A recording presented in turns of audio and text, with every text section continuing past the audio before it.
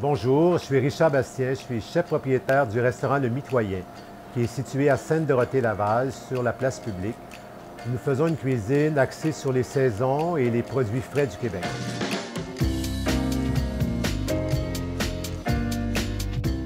Aujourd'hui, ce que j'ai pensé vous préparer, c'est une bouillabaisse, mais une bouillabaisse à partir de lapins et de fruits de mer. Alors, dans un premier temps, on va confire notre morue.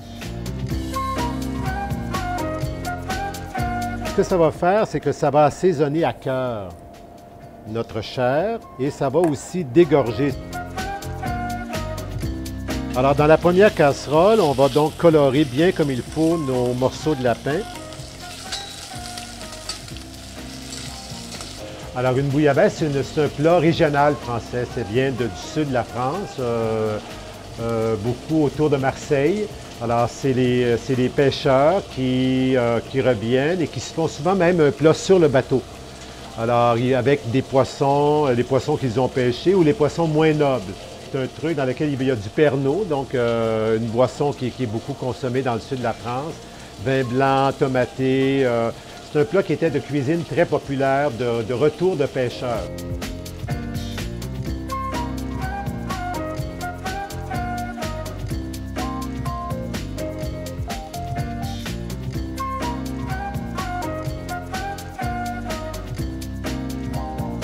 Bon appétit!